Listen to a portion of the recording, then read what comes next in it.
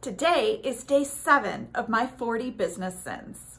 The seventh business sin, using technology to solve process problems, is something I see all the time.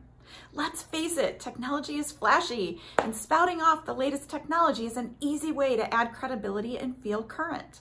Don't get me wrong, technology is not all bad. It can absolutely be an asset in business. It can make us more efficient by automating daily time-consuming tasks. But what happens when you implement a tool or a system for a process that doesn't work in analog mode? In most cases, it will amplify these gaps and issues. I encourage each of you considering new technologies. Take an up-close look at what technology is meant to solve. Does the current process work like a well-oiled machine? Are the gaps that currently exist something only the technology can solve?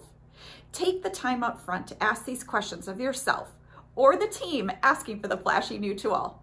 If not, the cost of technology might be just the beginning. I'll be back tomorrow for Business Sin number eight.